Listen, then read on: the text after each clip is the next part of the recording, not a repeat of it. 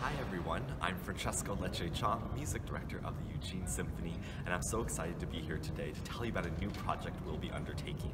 So this summer I conducted one of my first concerts with the symphony in July at the Cuthbert Amphitheater. We had about 5,000 people there uh, to perform for, and I just loved seeing all those families there, people of all generations able to hang out together and just enjoy great music. And I really wanted to have another opportunity uh, to, to see all the families again and let everyone come in to the Hult Center for the Performing Arts and, and hear some great music once again. Uh, so in April, on April 29th to be exact, I'll be launching our first family concert of the season. And this will be a, a, program that we're titling The Composer is Dead. And it's based on the Lemony Snicket book of the same name. Uh, this is just a, a fantastic uh, program that's been done all over the country to, to, great success, and I'm so excited to bring it here.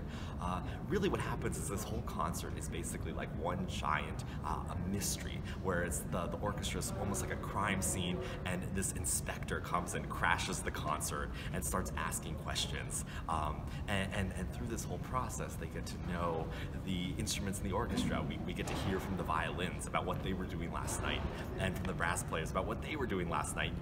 And I even get questioned as the conductor, and, and we get to kind of, through this whole process, get to discover the orchestra and kind of solve this crime, if you will.